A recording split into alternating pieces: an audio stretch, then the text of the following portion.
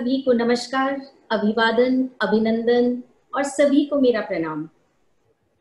संस्कार मूल्यों के महायज्ञ की इस महायात्रा में हेमा फाउंडेशन की ओर से मैं अनीता सुशील महेश्वरी, ट्रस्टी एवं क्रिएटिव डायरेक्टर, अभय एवं जिज्ञासा मूल्य की अपार सफलता के बाद तीसरे मानवीय मूल्य, प्रकृति प्रेम की दूसरी कड़ी में आप सभी गणमान्य अतिथिगणों का, शिक्षाविदों का एवं जिज्ञासुओं का हृदय के अंतरस्थल से हार्दिक स्वागत करती हूँ, अभिनंदन करती हूँ, सानुभिनंदन करती हूँ।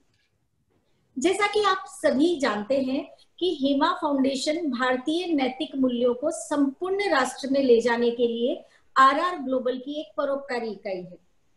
पिछले पाँच वर्षों में देश देश के लगभग उन्नीस राज्यों 110 शहरों और हज़ारों शिक्षण संस्थाओं के, लाखों छात्र छात्राओं के साथ नैतिक मूल्यों की स्थापना के लिए हम प्रयासरत हैं।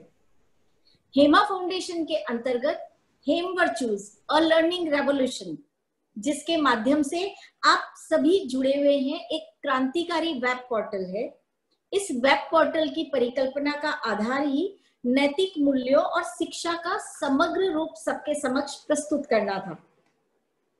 एक अगस्त को प्रारंभ हुए इस वेब पोर्टल ने इतने कम समय में संपूर्ण देश में अपना स्थान आप सभी के अपेक्षित सहयोग के कारण स्थापित कर लिया है। इससे पहले कि संस्कारों के महायज्ञ की इस महायात्रा को हम आगे बढ़ाएँ, उससे पहले हम इस आज जूम प्रेक्षागृह में उपस्थित सभी आदरणीय गणमान्य अतिथिगणों का और शिक्षावदों का आप सभी से परिचय करवाते हैं। सर्वप्रथम हमारे आज के वेबिनार के मुख्य अतिथि और हमारे राष्ट्र को तकनीकी रूप से दिशा देने वाली संस्था एनआईटी अरुणाचल प्रदेश के स्टूडेंट्स अफेयर के डीन आदरणीय डॉक्टर राम प्रकाश जी शर्मा हमारे बीच उपस्थित हैं और आप श्री की उपस्थिति को हम प्रणाम करते हैं। वेलकम डॉक्टर साहब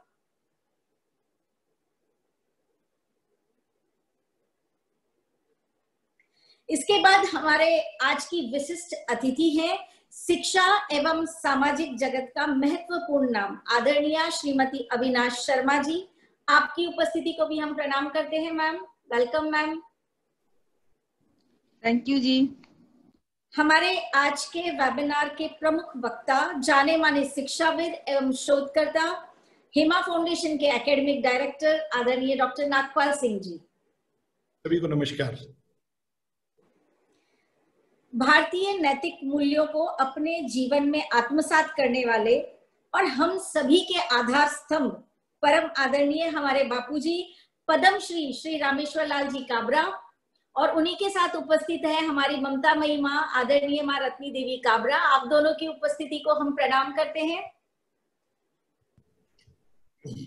हम सभी के मार्गदर्शक एवं प्रेरणा स्रोत हेमा फाउंडेशन के प्रबंध न्यासी आदरणीय श्री महेंद्र जी काबरा। नमस्कार सभी को। आप सभी का स्वागत है।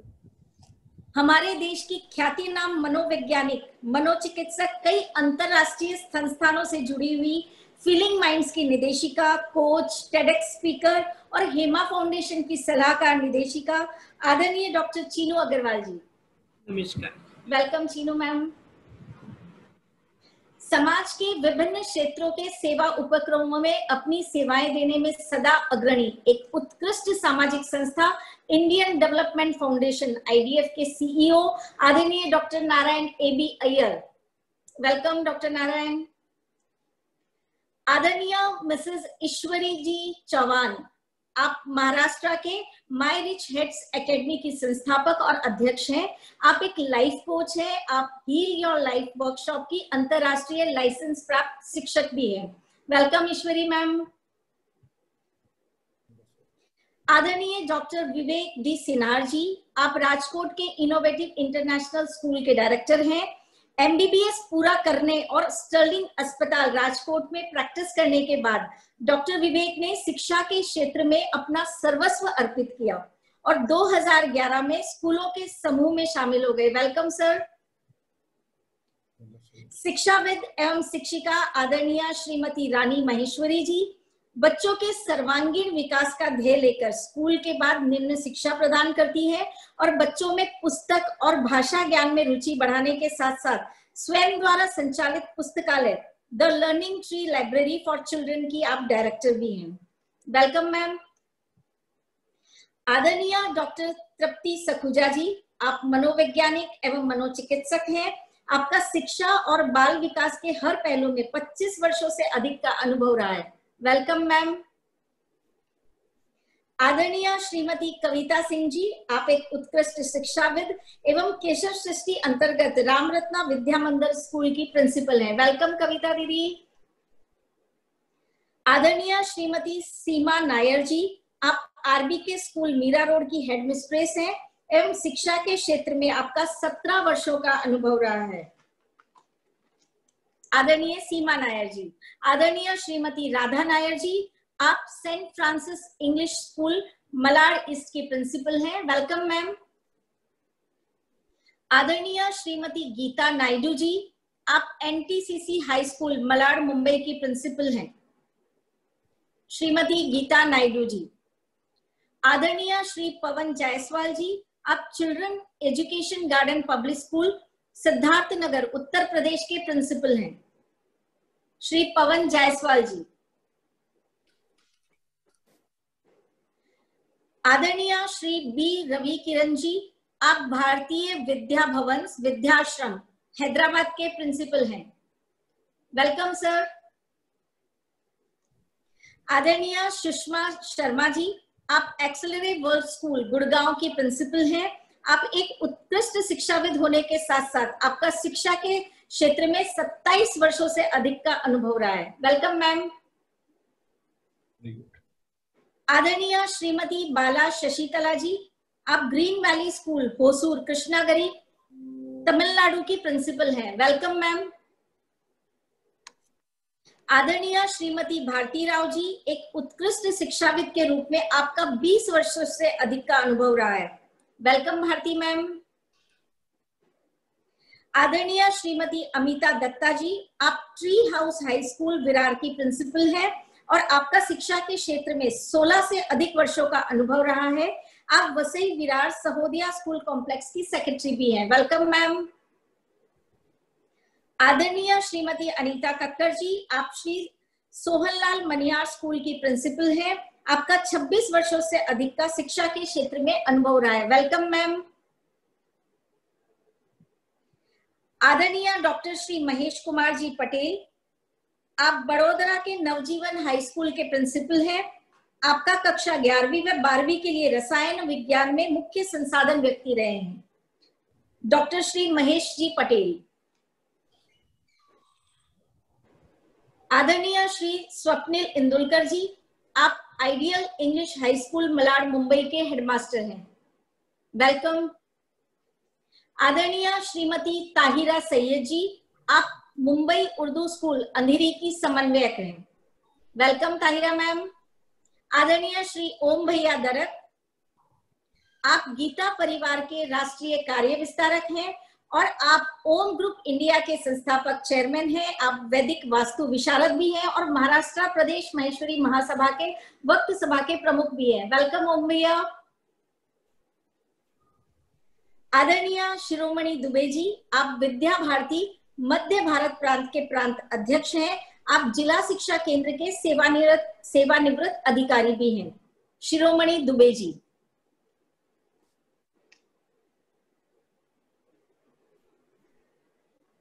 आदरणीय डॉक्टर संजय पटवा जी आप विद्या भारती के क्षेत्रीय सहमंत्री हैं। आप मध्य प्रदेश शासन के राज्य ओपन स्कूल के उप संचालक भी हैं। Welcome, doctor Patwa.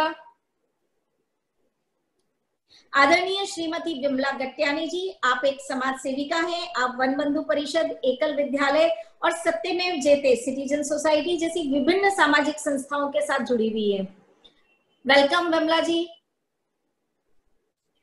आदरणीय ऋचा कुमार जी शिक्षा एवं सेवा कार्यों में जाना पहचाना नाम। आप दिशा बोध नाइट अध्ययन केंद्र एनजीओ के साथ जुड़ी हुई हैं, जो वंचित लड़कियों को शिक्षित एवं सशक्त बनाता है।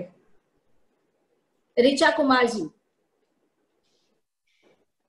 जानी मानी उत्कृष्ट शिक्षाविद, जिन्हें 40 वर्षों का समृद्ध अनुभव है, हेमा फाउंडेशन की एसोसिएट एकेडमिक डायरेक्टर, आदरणीय डॉक्टर रवि विजयम मैम और मेरी प्यारी अम्मा। हेमा फाउंडेशन गुजरात के अध्यक्ष आदरणीय श्री वीरेंद्र भाई पांचाल जी। स्वागत है वीरेंद्र भाई। हेमा फाउंडेशन गुजरात के उपाध्यक्ष textbook writer for Gujarat secondary education board आदरणीय श्री तेजस त्रिवेदी जी।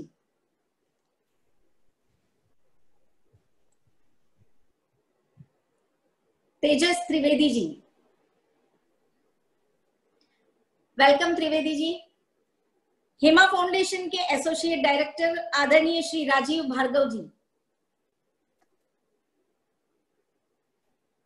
हेम वर्चूज और लर्निंग रेवोल्यूशन में वेदों के गुणतम ज्ञान को सरलता से समझाने वाले वेदों के परम ज्ञानी वेदाचार्य आदरणीय श्री बालकृष्ण दवे जी। आचार्य बालकृष्ण दवे जी हेमा फाउंडेशन की associate director M clone Futura की सीईओ विदुषी जी डागा। हेमा फाउंडेशन की associate director Shrimati Hetal Desai. Hema foundation Poona के अध्यक्ष आदरणीय श्री अतुल भाई सालग्रे। वेलकम अतुल भैया। और अंत में मैं स्वयं अनीता सुशील महेश्वरी। ट्रस्टी एवं क्रिएटिव डायरेक्टर हेमा फाउंडेशन फिर से आप सभी का स्वागत करती हूँ। तो ये थे हमारे आज के सभी गणमान्य अतिथिगण एवं सभी शिक्षाविद। इस वर्ष नौ जीवन मूल्यों की स्थापना के लिए संकल्पित इस यात्रा में आज हम फिर एक रोमांचक पड़ाव से गुजर रहे हैं। आज की यात्रा का पड़ाव है सरल एवं प्रयोगात्मक शिक्षा की पद्धति, द कैटालिस्ट ऑफ़ लर्निंग, यानी किस प्रकार से लर्निंग यानी सीखने की प्रक्रिया को त्वरित गति प्रदान की जा सकती है? आप सभी जानते हैं कि हमारी मानव सभ्यता सूचना के वृहत काल से गुजर रही है।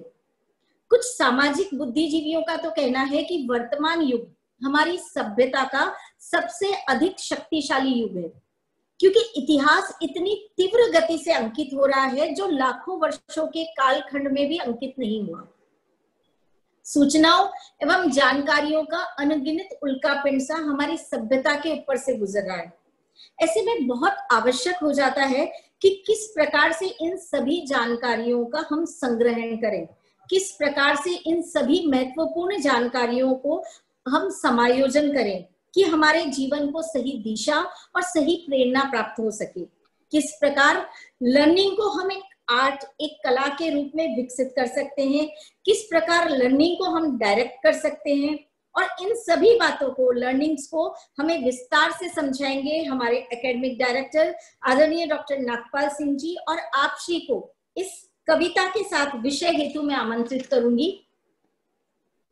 कि सुना है सुना है, परिवर्तन प्रकृति का नियम है और मेरी निगाहें घड़ी की हर टिक टिक पर परिवर्तन की गुजारिश करती है।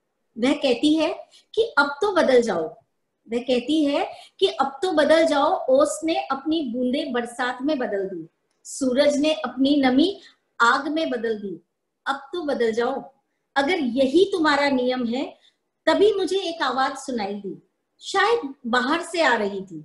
मैंने ध्यान से सुना तो वो मुझे ही बुला रही थी।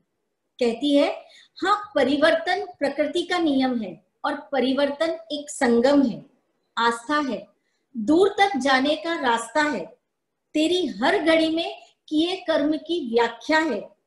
यूँ ही मत बैठा कर जिया कर। हर रोज कुछ मील चला कर।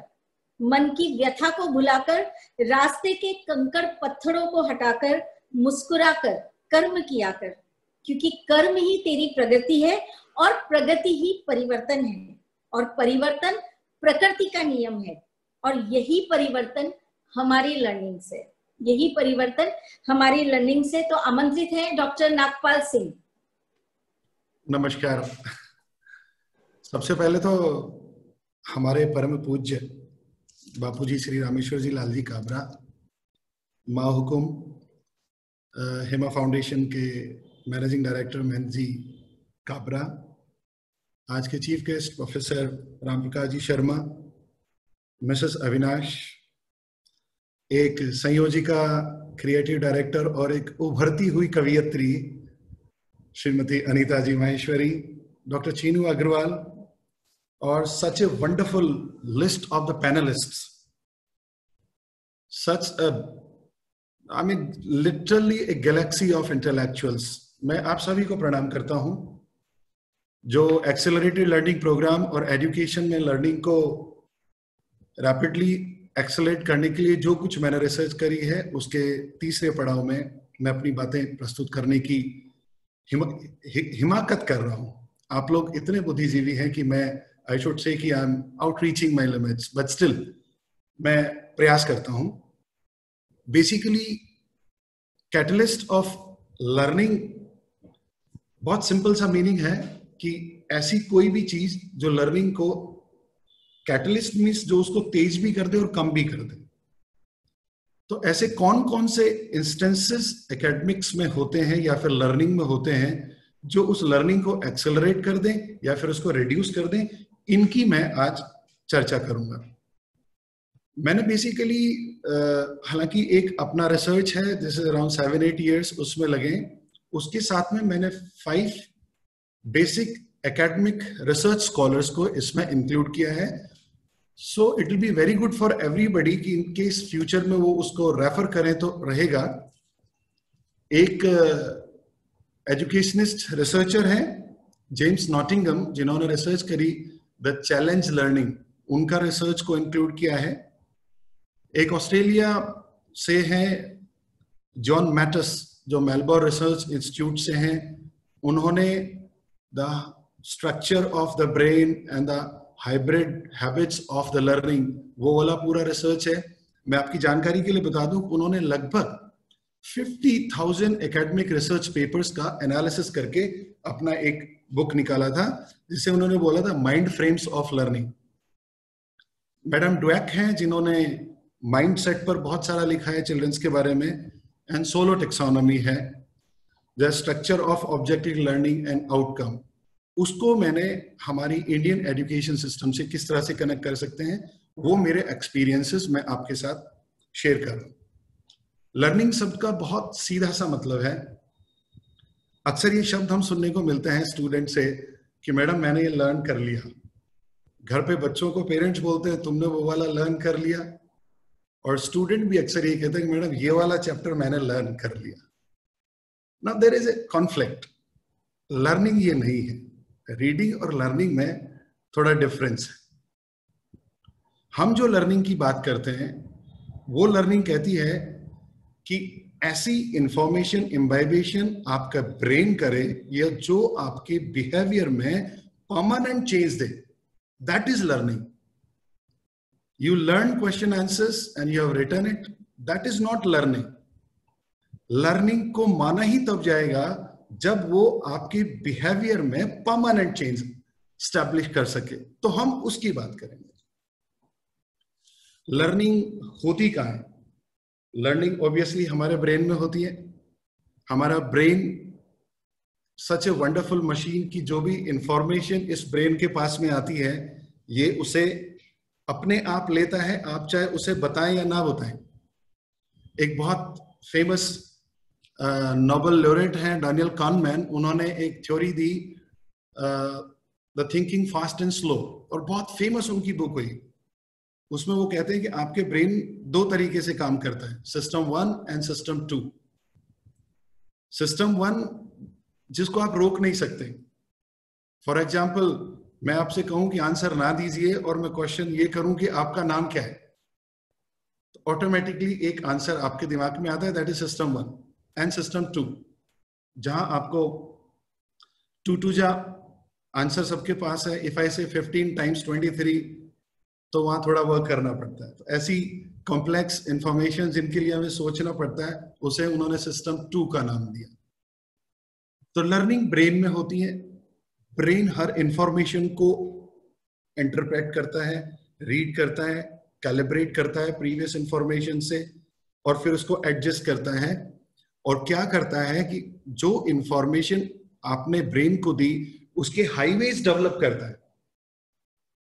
और जब उन इंफॉर्मेशन हाईवेज का कंफर्मेशन आपके बिहेवियर में हो जाता है that is learning it is simple thing of the brain Vidushi ji can I go to slide third मैं आपको एक छोटा सा वीडियो दिखाता हूँ uh, जिसमें हम देखेंगे लर्निंग एक्चुअली किसे कहते हैं। ये इस वीडियो को आप देखिए।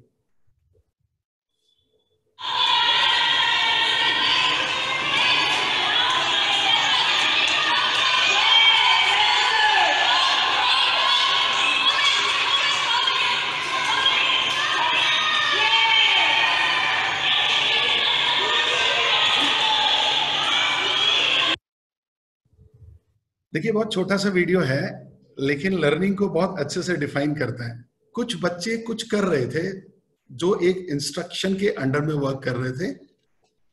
गो गो गो गो वो लोग जा रहे थे और वापस चले गए। लेकिन एक छोटी सी बच्ची, जो बिल्कुल फ्रंट में आपने नोटिस किया हो, वो लर्निंग कर रही थी। वो उसके बिहेवियर में चेंज की बात कर रहे थे। अब हमारा ब्रेन इस लर्निंग को कैसे ग्रेस करता है कि जो भी इंफॉर्मेशन आती है, उससे हम मेमोरीज के अंदर, जैसे मेमोरी हम लोग बोलते हैं, उसको कहते हैं। थ्री टाइप्स ऑफ़ मेमोरीज हम लोग बोलते हैं associative memory cognitive memory and trial and error in method इन तीन मेथड से हमारी सारी मेमोरीज या लर्निंग डेवलप होती है। एसोसिएटिव मेमोरी जो होती है कि, जो आप एसोसिएशंस क्रिएट करते हैं। For example if I say bread and table and automatically you answer it. So there is answer. Another is cognitive memory. कि अगर टेबल के ऊपर टेबल के ऊपर टेबल रख के आप खड़े होंगे तो गिर सकते हैं। कॉग्निटिव मेमोरी हो गया। Trial error and trial error memory होता है। मीन्स जो आप अपने बिहेवियर में लेके आ सकते हैं। विदुषी जी फोर्थ स्लाइड पे जाए हम। फैक्टर्स ऑफ़ लर्निंग में इतने सारे फैक्टर्स हैं। अगर मैं इन सब की चर्चा करूँ तो हमें एक सिक्स मंथ की कंटिन्यूस जूम वेबिनार करनी पड़ेगी। एक डिप्लोमा कोर्स काइंड ऑफ़ हो जाएगा। बट हम ऐसा नहीं करते हैं। मैं इसको एसेंस uh, में ले लेता हूँ। बहुत इंपॉर्टेंट एस्पेक्ट को ही आगे लेकर चलता हूँ। नेक्स्ट चलेंगे मैडम ये आज के टाइम में सबसे इंपॉर्टेंट थ्योरी ये है लर्निंग की। जिसे बोलते हैं द लर्निंग पिट इसका जो हाइपोथेसिस है, वो प्रोफेसर जेम्स नॉटिंगम ने किया। देखिए, एक बच्चा है, वो एक डाउन कर्व है, फिर उसके ऊपर जाता है। फोर स्टेजेस के अंदर ये लर्निंग होती है। अब मैं इसको थोड़ा सा हमारे स्कूल करिकुलम के साथ में मैं अटैच करने की कोशिश करता हूँ कि हम किसी चैप्टर को जब शुरू करते हैं तो बहुत कॉमनली एक वर्ड बोला जाता है teacher will speak a sentence और एक्सप्लेन समथिंग फिर बोलेंगे डिड यू गेट इट और आंसर एक यूनिजन में आता है यस मैम समझ में आ गया? यस मैम अब वो चैप्टर भी पूरा आ जाता है all right everybody got everything yes ma'am tomorrow you have to do the question answer yes ma'am I will listen it tomorrow yes ma'am tomorrow teacher listens also and the student answer also students are satisfied teacher is satisfied but that is not learning then what is learning that is doing or that is reading the learning pit hai wo four stages se nikalta hai stage first hai ki there should be a concept एक मैं छोटा सा example ले like odd number. What are the odd numbers? Odd numbers are the numbers that cannot be divided by 2 or that cannot be equally divided. Now let's say I give number 5. Can 5 be termed as an odd number? Answer will be no because it cannot be divided equally. Now if there are 5 cakes, so 2 and 2 cakes are divided, fifth one is left.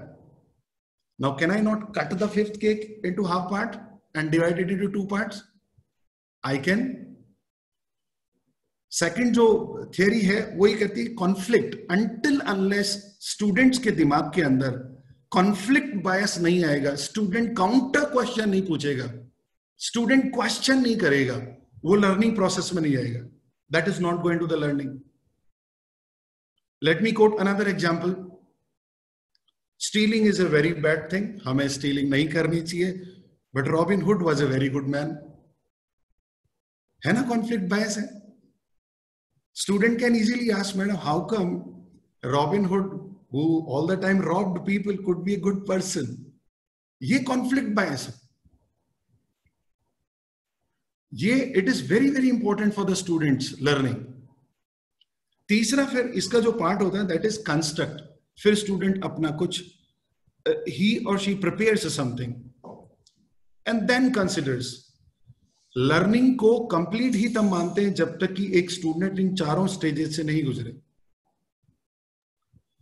For example अगर हम इसको एक एक एक और दूसरे conflict बायस और construct से लेकर चले कि you should walk on the left side of the road now I am talking about Indian system अगर आप लेफ़्ट साइड से रोड पे चलते हैं the vehicles are coming behind you और एक स्टूडेंट क्वेश्चन पूछे मैडम वो पीछे से आने वाले व्हीकल तो दिखते ही नहीं है. तो इमीडिएटली कॉन्फ्लिक्ट डेवलप होता है। तो ये conflict is very important in learning so learning pit से ये हमने, मैं last part of the seminar I will discuss की हमने किस तरह से आज की हमारी जो वैल्यू है, वो नेचर्स प्रोटेक्शन है नेचर्स कंजर्वेशन है। मैंने स्पेसिफिकली नेचर से रिलेटेड एकेडमिक मटेरियल्स लिए, जिनमें हम इस लर्निंग पिट से बच्चों को लेके गए। आगे अगर हम चलते हैं, अब मैं स्ट्रेट अवे आता हूँ। द कैटलिस्ट ऑफ़ लर्निंग ये बहुत इंपॉर्टेंट स्लाइड है। लर्निंग के अंदर क्रिटिसिज्म बहुत इंपॉर्टेंट है। अब क्रिटिसिज्म बहुत तरीके से होता है। मैं स्टूडेंट देखिए personal behaviours personal relations and social behaviours ये उसकी डिस्कशन में नहीं कर रहा हूँ मैं एक बहुत इंपॉर्टेंट रिसर्च है which was conducted by Stanford, the critical feedback choice on students' revision, performance, learning and memory. इन चारों को एक क्रिटिसिज्म किस तरह से इफ़ेक्ट करता है अगर आपने स्टूडेंट को क्रिटिसाइज प्रॉपर वे में किया है यू विल इनहेंस उस बच्चे का प्रोग्रेस होगा। और कहीं हमसे उसके क्रिटिकल इवेल्युएशन में अगर कुछ गलती हो गई तो डीग्रो होगा। मैंने तीन चीज़ों को बेसिकली लिया है। हालाँकि ये रिसर्च फाइव क्रिटिकल कंपोनेंट्स में थी सो एनवायरमेंट को मैंने इसमें से हटा दिया है।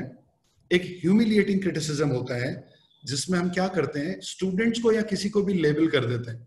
तू रहने दे तेरे से नहीं हो सकता। मैथमेटिक्स अच्छा तेरा होमवर्क तो कंप्लीट हुआ ही नहीं होगा। दैट इज़ जहाँ स्टूडेंट्स को हम एक एक इंफ्रायरिटी की फीलिंग देते हैं that is one kind of criticism second is जब हम उसको चैलेंज करते हैं क्रिटिसिज्म के साथ में प्लीज़ थोड़ा सा इस बात को ध्यान से सुनिएगा जब उसको चैलेंज करते हैं। एक बहुत बड़े साइकोलॉजिस्ट uh, हैं मिहाइली चिकमैन, मिहाइली, उन्होंने एक बुक लिखी, फोकस। और उस फोकस में वो एक बात कहते हैं कि अगर आप किसी को क्रिटिसाइज करते हो तो उसको चैलेंज के साथ में करिए। अगर आपने क्रिटिसिज्म और चैलेंज दोनों को साथ में ले लिया, the performance will rise like anything. करें कैसे? एक एग्जांपल लेते हैं। क्लास टेंथ का एक चैप्टर ले लेते हैं, कार्बन एंड इट्स कंपाउंड्स। उसको चैलेंज कैसे करें स्टूडेंट को? तो हम स्टूडेंट को कह सकते हैं कि you are very good at assorting the materials and I challenge you carbon से रिलेटेड फाइव एलिमेंट्स इधर अभी इमीडिएटली देख के बता सकते हो। द स्टूडेंट विल परफॉर्म और थर्ड जो होता है दैट इज़ एनालिटिकल क्रिटिसिज्म सबसे बेस्ट जो माना जाता है, वो एनालिटिकल क्रिटिसिज्म होता है। व्हाट इज़ एनालिटिकल क्रिटिसिज्म आप स्टेप को कमेंट करते हैं। देखो, तुमने फ़र्स्ट स्टेप पे ये गलती किया था सेकंड स्टेप पे तुमसे ये हुआ था थर्ड स्टेप तुमने ये बहुत अच्छा किया था फोर्थ स्टेप तुमने ये किया था। So criticism is a very vital catalyst of learning we all are not making I mean like we are making the society हम सारे टीचर्स जो हैं, समाज का सही निर्माण हम ही करते हैं। वो जब चाणक्य को धनानंद कहता है ना कि एक साधारण से भिक्षुक और तेरी इतना घमंड तो चाणक्य कहता है कि शिक्षक कभी साधारण नहीं होता धनानंद। उसके आंचल में प्रलय और निर्माण दोनों पलते हैं। हम उनमें से हैं। क्रिटिसिज्म बहुत ही थॉटफुल होना चाहिए ह्यूमिलिएटिंग कभी नहीं होना चाहिए। अगर ह्यूमिलिएटिंग हुआ परफॉर्मेंस नीचे आएगी ही आएगी। आप देखते हैं, हमारे क्लासरूम में से एग्जाम्पल्स निकलता है कि एक बच्चा जिसकी परफॉर्मेंस कम होती है, अक्सर मतलब बहुत रेयरली होता है कि उसकी परफॉर्मेंस बाद में ऊपर जाती है। क्योंकि वो बच्चा या फिर वो mind is always subjected to continuous humiliating criticism this is criticism अगला जो एक्सेलरेशन हमने लिया है, वो लिया है प्रेज को। हम स्टूडेंट्स को अप्रिशिएट कैसे करें? तारीफ़ कैसे करें या फिर ऐसे समझ लिए एनकरेज कैसे करें? चार, ये ये बहुत इंपॉर्टेंट स्टडी थी। मैंने नाम लिया, मैडम ड्वेक्स का। उन्होंने एक बहुत इंपॉर्टेंट बुक लिखी है द माइंडसेट उन्होंने तीन तरह के माइंडसेट बताए fix mindset growth mindset and regressive mindset now हम किस तरह से प्रेज करें? ये हमारे क्लासरूम या फिर अगर पेरेंट्स इस वेबिनार को देख रहे हैं तो वो अपने चिल्ड्रंस को किस तरह से प्रेज करें? कि उनकी लर्निंग एक्सेलरेट हो जाए। और लर्निंग से फिर मैं बता दूँ लर्निंग वही है जो लाइफ में परमानेंट बिहेवियर चेंज करे। लास्ट ईयर एग्जामिनेशन दिया 90 परसेंट स्कोर किए नेक्स्ट ईयर फिर से हम वही पढ़ रहे हैं, ये लर्निंग नहीं है। हाउ टू प्रेज तो सबसे पहला जो पार्ट आता है वो है बेस लाइन का। बेस लाइन मीन्स आप जनरल प्रेज करते हो। ओके फैंटास्टिक वेरी गुड एक जनरल हम उसको कर देते हमारा ध्यान कहीं और होता है, या फिर अप्रिशिएशन देने के लिए ऐसे ही कर देते हैं फ़ोन पे बात करते हैं, मम्मी, मेरे को सिक्सटी परसेंट है, ठीक है बेटा, पानी का एक ग्लास लाना। That is what is base line second जो प्रेज होती है, जब हम एफर्ट्स को प्रेज करें। एफर्ट्स मीन्स जो बच्चा एनर्जी उसमें पुट अप करता है, उस एफर्ट को प्रेज करें। यहाँ एक बहुत इंपॉर्टेंट बात बात मैं आप लोगों से शेयर करूँ।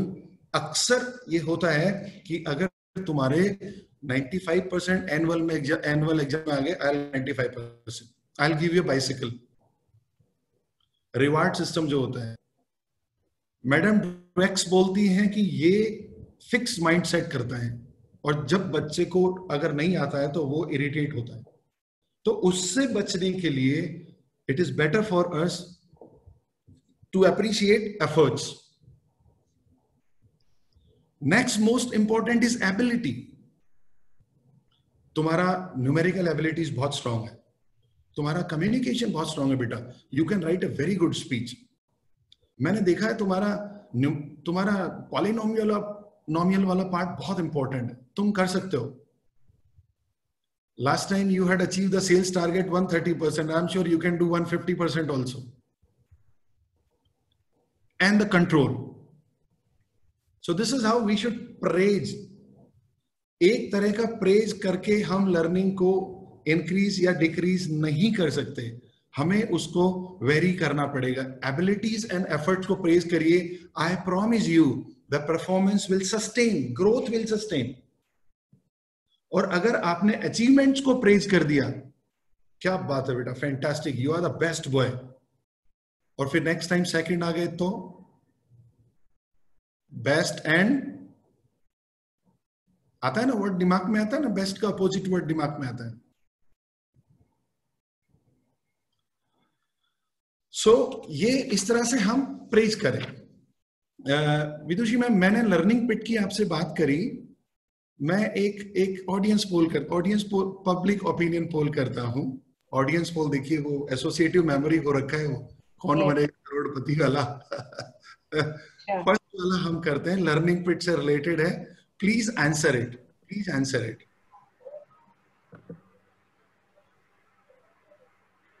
Arvindya, can you please put the poll? Yes, poll lunch What simple question hai, would you like to fall in the learning pit?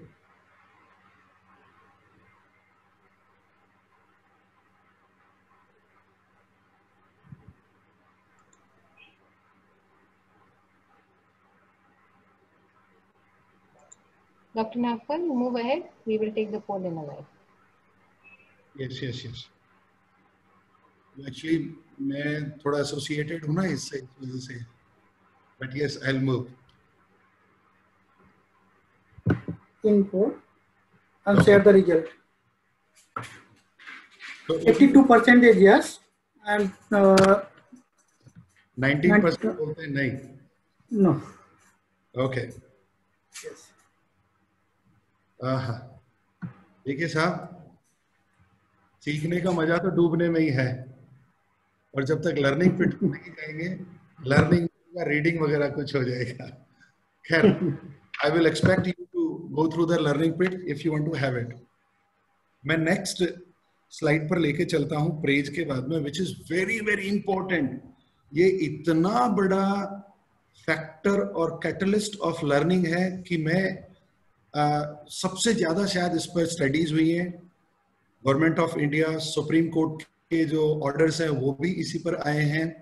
और ये study international journal of applied research on psychology and academics में है। ये कहती है कि अगर आपके रिलेशनशिप में पनिशमेंट है फियर है तो लर्निंग इतनी डीपली गिरेगी, इतनी डीपली गिरेगी जो लर्निंग नहीं हो सकती। और अक्सर ये होता है, इसको हमें एजुकेशन सिस्टम में देखने को मिलता है कि first second third fourth fifth six seventh eight sometimes ninth और टेंथ तक तो बच्चों की परफॉर्मेंस अच्छी होती है, लेकिन इलेवेंथ और ट्वेल्थ में जाके गिरने लगती है।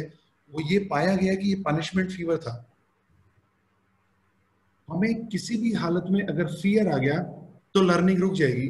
मैं दो मिनट अगर आपका लूँ इसमें हमारे ब्रेन का एक बहुत इंपॉर्टेंट पार्ट होता है, जिसे हम हाइपोथैलेमस बोलते हैं।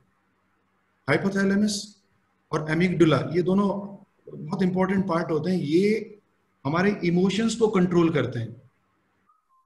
लेकिन ये इतने इंपॉर्टेंट पार्ट होते हैं कि हमारा जो प्री फ्रंटल कॉर्टेक्स होता है, जो सोचने, समझने का काम करता है, इसको पूरी की पूरी सप्लाई ऑक्सीजन सप्लाई का स्विच इन लोगों के पास में होता है।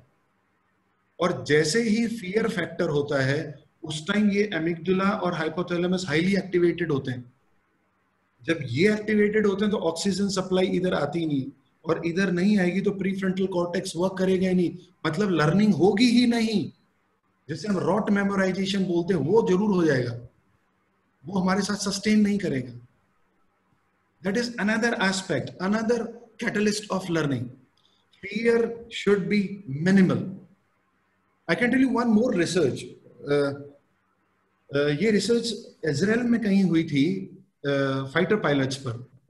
तो फाइटर पायलट्स जब एरर करते थे तो कुछ फाइटर पायलट्स को पनिशमेंट दिया और कुछ फाइटर पायलट्स को without punishment they were I think they were they were informed और they were properly taught about it तो कुछ समय के लिए तो ये हुआ कि जिनको फियर मिला था, उन्होंने नेक्स्ट टाइम गलती नहीं करी, लेकिन थर्ड या फोर्थ टाइम फिर कर दी।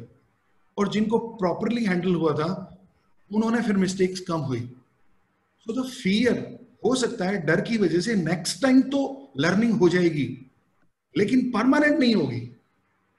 अगर परमानेंट लर्निंग है तो डेफिनेटली हमें फियर को रिड्यूस करना पड़ेगा। Fear should not be induced in childrens बच्चा खेल रहा है, घर की बात बता रहा हूँ। मान जाओ मान जाओ मान जाओ मान जाओ, नहीं मानी तो ये जो इंप्रेशन होता है, ये बड़ा डेडली होता है चिल्ड्रंस के ब्रेन के लिए। तो एक बार तो आपकी ये जो मैकेनिकल एनर्जी है, कुछ रिज़ल्ट दे जाएगी बट ये परमानेंटली नहीं देगी। तो fear should not be there next अगर हम चलें तो ये एक बहुत इंपॉर्टेंट रिसर्च था। हालाँकि ये डैनियल कॉनमैन का रिसर्च है। इसको उन्होंने लॉस अवर्जन थ्योरी कहते हैं लॉस अवर्जन थ्योरी कि हमें पचास रुपए मिले और पचास रुपए खो जाए, उसमें से ज़्यादा कौन हमारे साथ चलेगा? तो हमारी मेमोरी जो ज़्यादा चलती है, वो लॉस के साथ में ज़्यादा चलती है। We are more prone towards loss four times अब इसको हम लर्निंग और एकेडमिक्स से जोड़कर देखें, इस थियोरी को तो बच्चे को अप्रिशिएट करें और बच्चे को हम ये इंटिमिडेट करें। अगर तुम, हो है हो अगर तुमने लर्न नहीं किया तो देख लेना ये हो जाएगा। तो वो फियर आ जाए ये जो लॉस जब वो फ्यूचर फ्लॉगिंग हम करते हैं फोर टाइम्स नेगेटिव होता है four times negative we should be very careful in choosing our words कि देख पढ़ ले नहीं तो फेल हो जाएगा।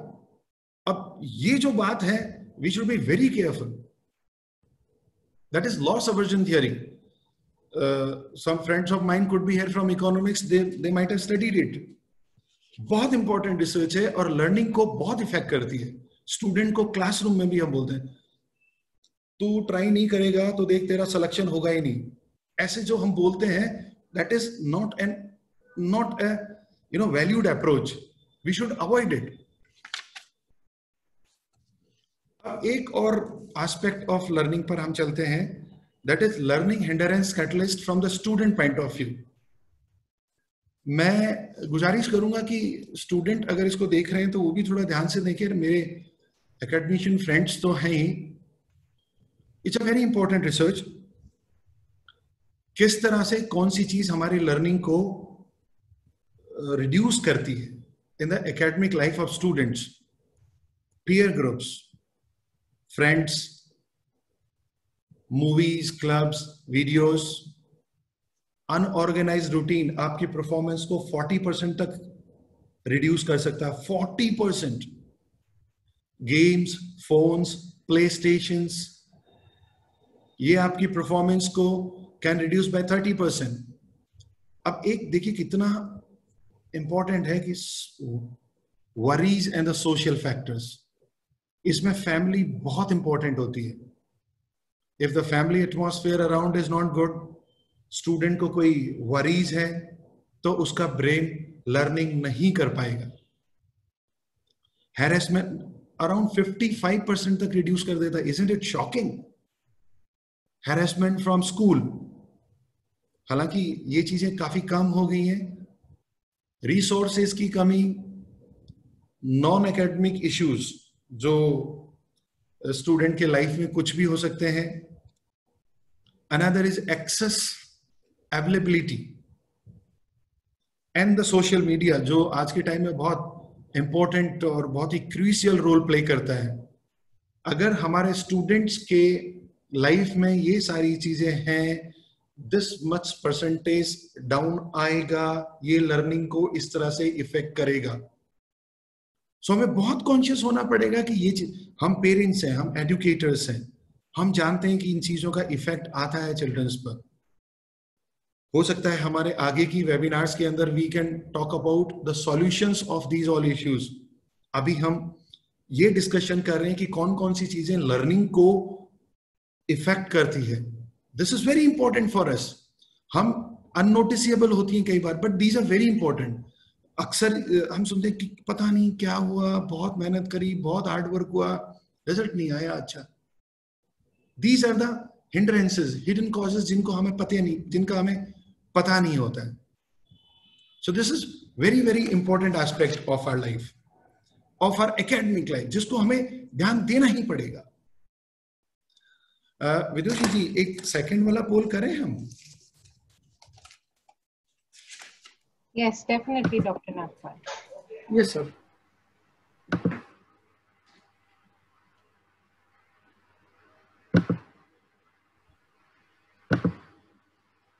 मैं थोड़ा सा आप नहीं ये दूसरा करना है अपन को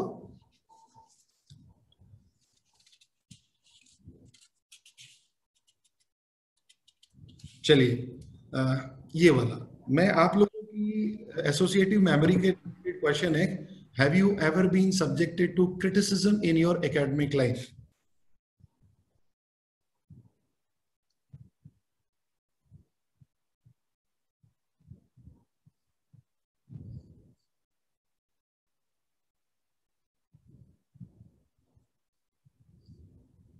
Okay. So ये इनफैक्ट मैंने मेरी नॉलेज के लिए भी किया है। It will help me conduct my further research on students behavioural aspect Yeah, we'll just share the results. One minute. the results. अभी भी the monster is present in our academia बड़ा Yeah. अफसोस है कि 30 परसेंट लोगों ने experience नहीं किया। I am so so happy it means हमारा education system is truly moving towards and reforms I mean like lots of congratulations to our entire academia कि अब ऐसा होने लग गया है। Otherwise criticism has been an very deadly monster चलिए, हम आगे चलते हैं। एक लाख स्लाइड को लेते हैं। जो एंग्जाइटी पार्ट जो होता है हमारे एकेडेमिया के अंदर स्टूडेंट्स के अंदर ऑन्शियसनेस होता है। अब देखिए, क्या स्टूडेंट को ऑन्शियस होना चाहिए? क्या उनमें एंजाइटी होना चाहिए? तो अगर बिल्कुल भी एंजाइटी नहीं होगा तो वो पढ़ने में they will not be able to go cope up with studies anxiety होना चाहिए एक्साइटमेंट मिडिल वाला। ओवर एंशियस हो गए तो फिर परफॉर्मेंस स्ट्रेस जोन में आ जाएगा। आज शाम को मेरे को थोड़ा सा था because of some corona issues but still anxiety होना चाहिए। This is very very important anxiety should never turn into stress stress अगर हो गया तो हम नहीं कर पाएँगे। हमारी फैमिलीज़ में, हमारे एजुकेशन सिस्टम में, हमारे स्कूल्स में कॉलेजेस के अंदर एक्साइटमेंट होना चाहिए टुवर्ड्स द स्टडीज़ इसका एक बहुत सिंपल सा कहना है कि yes I can do this वो वाला पार्ट तो होना चाहिए। अगर वो होगा तो डेफिनेटली हमारी लर्निंग हाई होगी। अगर वो ज़्यादा हो जाएगा तो स्ट्रेस में आ जाएगा। स्ट्रेस आने के बाद में फिर वही प्रीफ्रंटल वाला इश्यू हो जाएगा हमारी लर्निंग नहीं होगी। फिर वही हमारा फ्लॉगिंग फियर वगैरह, वो सारे फिगर्स हमारे डेवलप हो जाते हैं। तो आज मैं इतने फैक्टर को लेता हूँ, अब मैं कुछ टॉपिक्स को आपके साथ में शेयर करता हूँ कि हमने इन सारी रिसर्च को कुछ नेचर से रिलेटेड टॉपिक्स में हमने इसको किस तरह से अप्लाई किया एजुकेशन सिस्टम में, किस तरह से प्रैक्टिकली हमने करके देखा और उसके रिज़ल्ट हमें कैसे मिले। This is very important next slide पे अगर हम जाएँ, देखिए हम नेचर के बारे में बच्चों को समझाते हैं, हम अर्थ के बारे में बच्चों को समझाते हैं। अब बच्चों को हम जब समझाते हैं अर्थ क्या होती है तो एक छोटा सा अजम्पशन हम दे देते हैं। हम लर्निंग पिट में बच्चों को नहीं जाने देते। ये आप देखिए, एक पूरी की पूरी टीम ने पूरा का पूरा ग्लोब उनके पूरे के पूरे ग्राउंड पे बनाया। सारे स्टूडेंट्स को इंक्लूड किया। हमने क्या किया? कॉन्सेप्ट दिया। इतना कॉन्सेप्ट को डाइवर्सिफाई किया कि हमने स्टूडेंट को उस पिट में फोर्स्ड हमने एक्साइटमेंट को इंट्रोड्यूस किया। हमने फियर को हटा दिया। फियर कैसे होगा? Do you know what is globe yes ma'am I know what is globe okay tell me what is globe अब स्पेरिकल बॉडी अब स्पेरिकल बॉडी हम जो दिखाते हैं, उससे पूरा स्टूडेंट अटैच नहीं होते। फ़र्स्ट हमने ये किया। सेकंड पार्ट चलिए विदुषी जी सेकंड पे जाते हैं। दिस इज़ ये अर्थ अंटिल अनलेस हम स्टूडेंट्स को वो फीलिंग नहीं देंगे, वो कॉग्निटिव कॉग्निटिव इंफॉर्मेशन नहीं देंगे, उनको एक रियलाइजेशन नहीं देंगे उनके ब्रेन को, उनको वो कनेक्ट नहीं देंगे, वो एसोसिएशन नहीं देंगे, वो स्टूडेंट नहीं कर पाएगा। इससे रिलेटेड हमने थ्री एक्टिविटीज़ करी। कौन सी थ्री एक्टिविटीज़ थी? ये प्योरली नेचर से रिलेटेड है मैथमेटिक्स की अलग एक्टिविटीज़ है अदर सब्जेक्ट्स की अलग एक्टिविटीज़ है। हमने थ्री एक्टिविटीज़ करी water footprint ecological footprint and carbon footprint water footprint आप एक दो बार मैं पहले भी इस बात की चर्चा कर चुका हूँ, ये बहुत सक्सेसफुल हमारी एक एक्टिविटी थी जो एक्सेलरेटेड लर्निंग प्रोग्राम के तहत हमने करी। हम स्टूडेंट्स को क्लासरूम में नहीं क्लासरूम के बाहर ले गए, जंगल में ले गए, खेतों में ले गए। पानी के मैदान पानी के पॉन्ट्स पर ले गए। वी लिटरली एक्सपोज चिल्ड्रंस इन सारी चीज़ों को दिखाया उन्हें कि ये ये होता है। फिर उससे रिलेटेड ऑल इंट्रीकेट इंफॉर्मेशन एक चपाती के अंदर 67 लीटर वाटर होता है। एक पिज्जा के अंदर 15,000 लीटर वाटर कंज्यूम होता है। एक एप्पल के अंदर 128 लीटर वाटर होता है। एक पेपर के अंदर 12 लीटर वाटर कंज्यूम होता है। हमने सिर्फ़ इतना ही नहीं किया, उनके फिर दूसरे सेंसेस को, जो एक्सेलरेटेड लर्निंग प्रोग्राम कहती है कि it an multi sensory learning हमने इन पर सॉन्ग्स बनाए, हमने इन पर गीत लिखे, हमने इन पर ड्रामास किए। नेक्स्ट स्लाइड में हम जाएँगे।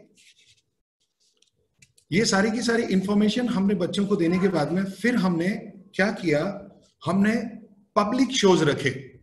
ये देखिए छोटे छोटे बच्चे टॉप में they are explaining it to the people public exhibition रखा हमने कि do you know what is हम डिस्ट्रिक्ट एडमिनिस्ट्रेशन के पास में गए, वहाँ पर हमने हमारी स्टॉल लगाई कि हम आपको बताएँगे व्हाट इज़ कार्बन फुटप्रिंट हम आपको बताएँगे व्हाट इज़ इकोलॉजिकल फुटप्रिंट हम आपको बताएँगे what is water footprint how can you preserve water इतना सक्सेसफुल इवेंट था that it got a media coverage ये टॉप राइट कॉर्नर में अगर आप देखेंगे he is an additional director of Rajasthan high college education, doctor Anil Bhatnagar, ये खुद देखने आए इसको।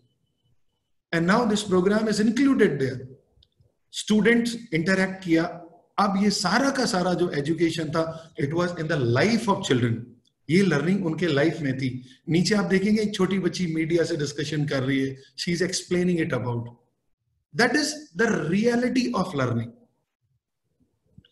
इस तरह से हमें, हमने ये सारे टॉपिक्स को इंक्लूड किया and based on these all research और अल्टीमेटली जो हमें मिला, वो ये था एक लाफ्टर एक cheerful disposition her students teachers parents everybody was happy जो हमारे एजुकेशन का अल्टीमेट पर्पज है. ये सारी एक्टिविटीज़ ये सारे प्रोग्राम्स हेमा फाउंडेशन के पास में अवेलेबल है. If you would require it we will provide it आप लर्निंग के जो कैटलिस्ट है फियर का ध्यान रखिए एंग्जाइटी का ध्यान रखिए, किस तरह से क्रिटिसाइज करें, उसका ध्यान रखिए परफॉर्मेंस एवेल्युएशन कैसे करें एकेडमिक्स में उसको कैसे यूज़ करें these all are the aspects of learning ये हमारी लर्निंग को इंक्रीज करते हैं, ये हमारी लर्निंग को डिक्रीज करते हैं. एकेडमिशियंस अगर मुझसे डिमांड करेंगे ये सारे रिसर्च का meta analysis that also I will provide हमने किस तरह से इसको एकेडमिक लर्निंग में इंक्लूड किया है that also I will provide आप सब लोगों ने मुझे सुना? Thank you so much so nice of you hopefully we all in our endeavour to make education better will make our childrens you know make this country an excellent country thank you so much and so nice of you नमस्कार आप सभी को thank you so much doctor Nagpal बहुत ही simple way में आपने learnings को हमें समझाया। अब मैं आमंत्रित करती हूँ विदुषी जी डागा को कि हेम वर्चूज लर्निंग रेवोल्यूशन से हम किस तरह इजी वे में जुड़ सकते हैं एवं खुद को स्टूडेंट्स को स्कूल को या हम अपनी संस्थाओं को किस तरह से सिंपलेस्ट वे में रजिस्टर कर सकते हैं। तो बहुत शॉर्ट वे में विदुषी सभी को एक्सप्लेन करिए प्लीज़ सभी को मेरा बहुत बहुत प्रणाम एंड नमस्ते। मैं मेरा स्क्रीन शेयर करती हूँ। हेम वर्चुअस जो हमारा लर्निंग प्लेटफॉर्म है, ये बहुत ही क्रांतिकारी प्लेटफॉर्म है, जहाँ अभी लाखों बच्चे ऑलरेडी जुड़ चुके हैं। यहाँ पर स्कूल स्टूडेंट टीचर या फिर आप कोई ऑर्गेनाइजेशन हो तो आप हमारे साथ ज़रूर जुड़े, ताकि आप अपने स्कूल्स में या फिर अपने कॉलेजेस में ये वैल्यू लर्निंग को आगे ले जा सकते हैं। इसका प्रोसेस बड़ा ही सिंपल है। आपको सिर्फ़ एड्रेस बार में टाइप करना है Hem dot com H E M V I R T U E S dot com जैसे ही आप जाएँगे, ये होम पेज खुल जाएगा और यहाँ पर आप देख सकते हैं कि हमारे अलग अलग वैल्यूज़ दिए गए हैं। हम ये देखते हैं कि हर वैल्यू को एक साइंटिफिकली एक ह्यूमन में उनके सिस्टम में इंटीग्रेट करने के लिए 21 डेज़ लगते हैं। तो यहाँ पर हर वैल्यू को हमने तीन हफ़्ते दिए हुए हैं टोटल जैसे ही आप अंदर जाएँगे, आप अगर स्टूडेंट हैं स्कूल हैं तो आपको यहाँ पर साइन इन करना है। साइन इन के बाद ये आपका डैशबोर्ड खुल जाएगा। बहुत सिंपल है। डैशबोर्ड मतलब ये आपका खुद का इंडिविजुअल डैशबोर्ड है। ठीक है? जैसे ही ये खुलेगा, सबसे पहले आपको मिलेगा एक बिलीफ सर्वे ये बिलीफ सर्वे बहुत इंपॉर्टेंट है क्योंकि हम जानना चाहते हैं कि आपने जो आ, मतलब आपका जो बिलीफ है यहाँ पर क्या परसेप्शन है before starting the entire journey on Hem Virtues एक बार हमें आपका परसेप्शन मिल जाता है उसके बाद आपको अलग अलग वीक में इंटीग्रेट होना है। So let's say for example हम सबसे पहले कर रहे हैं fearless week one okay okay? यहाँ पर जब आप आएँगे तो फ़र्स्ट एंड फॉरमोस्ट आपको एक छोटा सा प्री वैल्यू सर्वे देना रहेगा। यहाँ पर आपके लिए अलग अलग वीडियोस हैं। और फिर जैसे ही आप हमारे अभय की मूवी देखेंगे, उसके पहले भी आपको एक छोटा सा एमसीक्यू करना है और अभय की पिक्चर के बाद आपके परसेप्शन में क्या चेंज आया, वो भी करना है। ऐसे ही अलग अलग पड़ाव से आपको गुजरना है। और स्टेप टू जो है हमारा प्रैक्टिकल्स यहाँ पर हमारे अलग अलग प्रैक्टिकल्स दिए गए हैं, जिसमें एक्टिविटीज़ और टास्क है, जो बहुत ही मनोरंजन और इंटरेस्टिंग है। ये आपको करना है ताकि बच्चे ये जस्ट इंस्ट्रक्शंस फॉलो करें और उसके बाद वो एक्टिविटी करके यहाँ अपलोड कर दें। हमारे सारे के सारे वीक्स आपको इंग्लिश हिंदी गुजराती एवं मराठी भाषाओं में उपलब्ध है। एक बार आपने ये अलग अलग वीक्स का प्रैक्टिकल्स कर लिए जैसे कि ये फियरलेस वीक टू है, हमारा यहाँ पर जैसे किरण जी बेदी एटसेट्रा अलग अलग स्टोरीज दी गई है। ये सारा चीज़ करने के बाद आप देखेंगे कि बच्चों को यहाँ पर एक रैंकिंग और यहाँ पर उनको पॉइंट्स भी मिलते हैं, जो बच्चों को मोटिवेट करते हैं कि वो आगे से आगे बढ़ें। तो आप हमारे साथ ज़रूर जुड़िए और ये सारा जो जितने हमारे नौ वैल्यूज़ हैं उनको अगर आप बच्चों को कराएँगे या फिर आप अपनी स्कूल में टीचर्स के साथ जुड़ेंगे, आपको खुद को डिफरेंस पता चलेगा क्योंकि हमने देखा है कि बच्चों में कितना ट्रांसफॉर्मेशन हुआ है। So all the best everyone and see you all on hemvirtues.com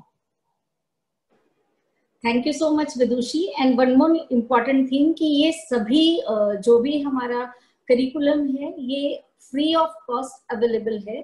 इसके लिए हेमा फाउंडेशन कहीं से भी किसी तरीके की कोई सहयोग राशि नहीं लेती है, लेकिन आपका अपेक्षित सहयोग, आपकी भावना और ये बच्चों तक पहुँचे, ये सहयोग हम ज़रूर आप लोगों से अपेक्षा रखते हैं। थैंक यू और अब हम आगे बढ़ते हैं और मैं आमंत्रित करती हूँ हमारे आज के वेबिनार के मुख्य अतिथि हमारे राष्ट्र को तकनीकी रूप से दिशा देने वाली संस्था national institute of technology, NIT, Arunachal Pradesh के डीन, फ्लूट मैकेनिक्स के विख्यात प्रोफेसर, आदरणीय डॉक्टर राम प्रकाश जी शर्मा। आप श्री का भारतीय तकनीकी अनुसंधान के लिए किया गया काम, अनुसंधान एवं योगदान बहुत विशाल है। आप श्री की क्षमता का एक सूक्ष्म आंकलन सिर्फ़ इस बात से लगाया जा सकता है कि गूगल स्कॉलर स्वयं आपके द्वारा खोज किए गए लगभग सत्तर शोध पत्रों का विवरण प्रदान करता है। हमें गर्व है कि हमारे देश को तकनीकी रूप से सुदृढ़ एवं सक्षम बनाने में लगे हुए कर्मवीर आज हमारे बीच उपस्थित हैं और आप श्री की गौरव में उपस्थिति को हम प्रणाम करते हैं और आप श्री को हम मार्गदर्शन हेतु आमंत्रित करते हैं। Doctor Ram Prakash ji Sharma. Uh, Ram Prakash ji, can you please unmute yourself? Thank you, ma'am. Thank you so much. Uh, Sri Mahendra Kavra ji, founder of Hema, Hem, Emma, Emma Foundation. Mrs. Anita Maheshwari, trustee and creative director of Hema Foundation. Today's main speaker, Dr. Nagpal Singh, who is also the academic director of HEMA Foundation. Congratulations to HEMA Foundation for taking wonderful step in providing value education program through online to all the students in India and abroad free of cost. Thank you. Thank you so much. Value for children are very important part in the life and HEMA Foundation providing such wonderful education to school children will help them to grow better.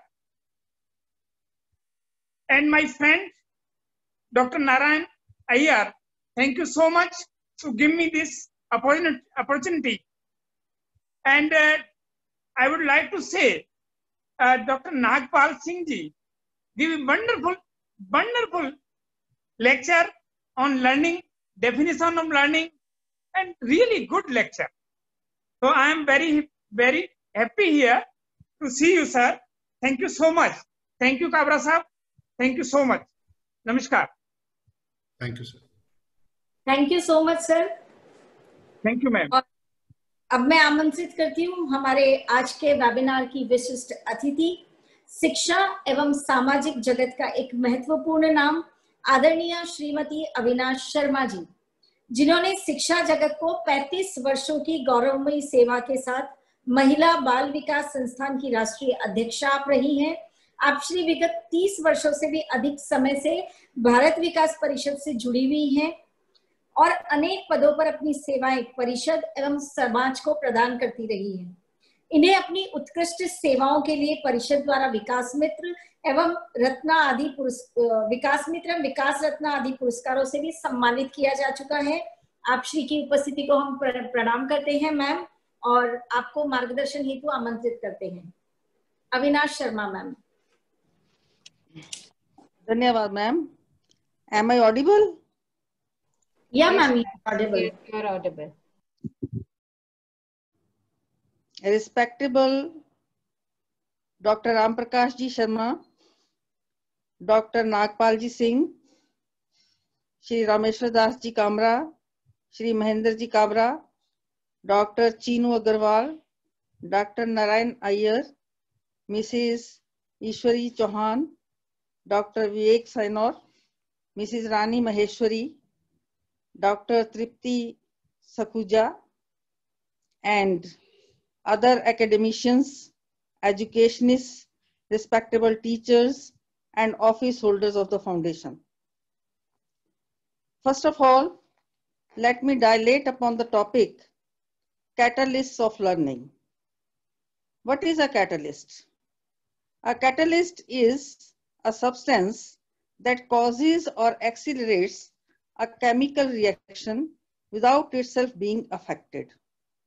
Secondly, it is a person or event that quickly causes activity or change between two or more persons. Another name for catalyst is impetus or spark. I will discuss this topic indirectly. Dr. Nagpal ji has very skillfully deliberated upon the topic of art of learning because I never knew about this uh, HEMA Foundation. I only understood that it is it stresses upon value-based education and moral education. So that is why I will only tell about the moral and uh, value-based aspect of the education. Now, in the life of a person, the catalyst is the teacher. In ancient times, there were more than 100 subjects taught to the students so that when they came out from the ashram of the guru, they were well equipped to face life in every way. Today, the students are served gyan away from shiksha. The children today have a lot of IQ. You all know it very well. But they lack EQ and SQ. EQ is the emotional quotient. And I think Dr. Saab has laid stress upon it also. That is how they handle the difficult situation, how they react to the hurdles of life. To develop EQ in them, we will have to make them mentally strong. We will have to inculcate in them the spirit of being strong enough to accept the challenges of life. Hereby we, I mean the parents as well as the teachers. A lot of responsibility lies on our shoulders to make them strong. They should have the spirit not to ask from life, why me?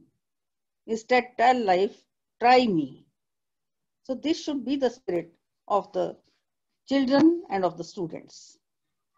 Education must liberate men from the shackles of cowardice, pettiness, greed, hatred, narrow mindedness, from the limits of I and mine. Here comes SQ. Education should be utilized for developing the power of discrimination between right and wrong, good and evil. Without discriminating power, a human is worse than an animal. Steady adherence to truth, renunciation, genuine love, and selfless service are the essential components that make a human. Modern students are growing like a giraffe, which has its head at one place and the heart a long way off. In the case of a giraffe, it is because of its long neck that the head is removed from the heart. But there is no such excuse for the youth. They should be able to observe a unity between thought and action, word and deed. A great Hindi poet, Jayashankar Prasad, in his epic Kamayani, wrote, ज्ञान दूर कुछ क्रिया भिन्न है ज्ञान दूर कुछ क्रिया भिन्न है इच्छा कैसे पूरी हो मन की एक दूसरे से मिल न सके यही विडंबना है जीवन की so what is the use of a good head if the legs don't carry it means whatever we think we should have the capability, we should have the ability to put it into practice. But today the children are in a doldrum. They think in the one in one way and act in the other way. So a proper coordination between their thinking and action will have to be brought by us. Today the children are being denied the precious heritage which is their due. You know it very well. They are inducted into foreign ideals, thoughts, habits, and even dresses. They are praised for reci reciting nursery rhymes to the neglect of their native rhymes. So we will have to inculcate the spirit of working hard in the children. Their lives have become so easygoing and we have given them so many comforts that they have forgotten the value of the fruits of labor and saving money we should tell them that they work hard. Hard work is like a staircase and luck is like a lift. The lift may sometimes fail, but the staircase will always take you to the top. And here come the organizations like HEMA Foundation to inculcate all these values in the children. Although I am dealing with the subject in another way, than Dr. Nagpal ji. I wish and am confident that your foundation will go a long way in bringing about a sea change in the present scenario. It may take time, but the success will definitely be yours. Although the foundation is just a sapling of about two months, yet it has touched so many heights that I am hopeful and confident that one day it will grow to be a big banyan tree, giving the shade to all the educationists and the learners. Thank you all for giving me this honor and special thanks to Ms. Hital Desai, who was constantly in touch with me. And congrats to you all for the success of the webinar, which was well planned and meticulously organized. In the end, I wish to say a great wish and desire from my sides that woods, I'm reciting a poem of Robert Frost. Woods are lovely, dark and deep, but I have promises to keep and miles to go before I sleep and miles to go before I sleep. And I think those miles will be definitely covered successfully by HEMA Foundation. My all the best wishes are with you. Jai Hind, Jai Bharat, Vande Mataram. Thank you so much ma'am we are honoured and blessed आपने जो इतना प्यार दर्शाया Hema foundation के लिए आपकी best विशेष के लिए हम तहे दिल से आपका धन्यवाद करते हैं। और अब हम चलते हैं समापन की ओर। और, और मैं आमंत्रित करती हूँ हमारे प्रेरणा स्त्रोत हेमा फाउंडेशन के प्रबंध न्यासी आदरणीय श्री महेंद्र जी काबरा को कि वे वेबिनार में पधारे सभी गणमान्य अतिथिगणों का सभी शिक्षाविदों का उपस्थित सभी जिज्ञासुओं का सहृदय आभार व्यक्त करें। श्री महेंद्र जी काबरा नमस्कार। आप सभी का जीवन मूल्यों को समर्पित इस वेबिनार कार्यक्रम में सहयोग और समर्थन देने के लिए हृदय से आभार प्रकट करता हूँ। हम सभी शिक्षाविदों को माता पिता को ये चिंता हमेशा सताती रहती है कि बच्चों में संस्कार व मूल्य कैसे लाएँ और उनका चरित्र निर्माण कैसे करें। और उसी का समाधान हेतु हेम बच्चू ई पोर्टल तैयार किया गया है। बच्चों के लिए आज ये गैजेट एक अभिन्न रूप से जुड़े हैं और हमें वेम बच्चू एक जानकारी युक्त मनोरंजक एक अच्छा ऑप्शन देता है। हम सभी ने आज डॉक्टर नागपाल जी से सुना, लर्निंग क्या है? और मैं भी स्वयं स्वीकार करूँगा कि लर्निंग की परिभाषा आज अच्छी तरह से हमने समझी कि लर्निंग वो है जो परमानेंट बिहेवियर चेंज करती है। और उसको कैसे समायोजन करें, उसकी सुंदर प्रस्तुति के लिए डॉक्टर नागपाल जी का बहुत धन्यवाद देता हूँ मैं। आज के हमारे मुख्य अतिथि प्रोफेसर राम प्रकाश जी शर्मा जी की उपस्थिति हमारे लिए स्वयं एक सफलता का एक बड़ा आयाम है। मैं उनके उद्बोधन के लिए हृदय से उनके प्रति आभार प्रकट करता हूँ। हमारी आज की विशिष्ट अतिथि, श्रीमती अविनाश जी शर्मा के प्रति हृदय से धन्यवाद ज्ञापित करता हूँ। आपने अत्यंत ही प्रभावी संदेश दिए और हेमा फाउंडेशन के लिए उच्च स्थान पर पहुँचने के लिए जो शुभकामना व्यक्त की, उसका मैं आपको धन्यवाद व्यक्त करता हूँ। मैं आज के हमारे सभी गणमान्य अतिथि का अपना अमूल्य समय देने के लिए धन्यवाद व्यक्त करता हूँ और इस वेबिनार के माध्यम से जुड़े देश के सभी शिक्षाविद, नागरिकों के प्रति संस्कार की इस महायात्रा में शामिल होने के लिए आप सभी का आभार प्रकट करते हुए आपका सहयोग और आशीर्वाद। हेमा फाउंडेशन पे हमेशा बना रहेगा। इन्हीं शुभकामनाओं के साथ धन्यवाद। धन्यवाद महेंद्र जी। पुनश्च आप सभी को मेरा हार्दिक धन्यवाद, आभार और सभी को मेरा प्रणाम। वेबिनार के इसी क्रम में हमारी अगली कड़ी का विषय है नेचर्स लव थ्रू सब्जेक्ट्स जिसमें हम मिलेंगे आपसे अगले बुधवार समय ठीक साय पाँच बजे डॉक्टर रवि विजयम मैम के साथ। नेचर्स लव थ्रू सब्जेक्ट अब आप सभी से हम आज्ञा लेते हैं इसी मनोभाव के साथ कि भविष्य में भी आप सभी का हमें निरंतर एवं अपेक्षित सहयोग इसी प्रकार मिलता रहेगा। आप सभी स्वस्थ रहें व्यस्त रहें एवं मस्त रहें। वंदे मातरम। जय हिंद जय भारत।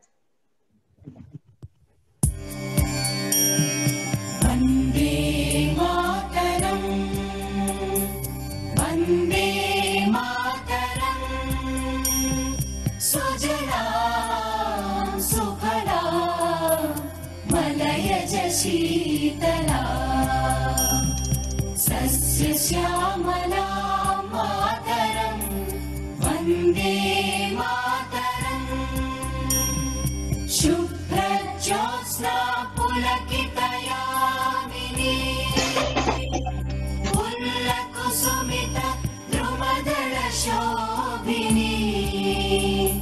सुहासिनी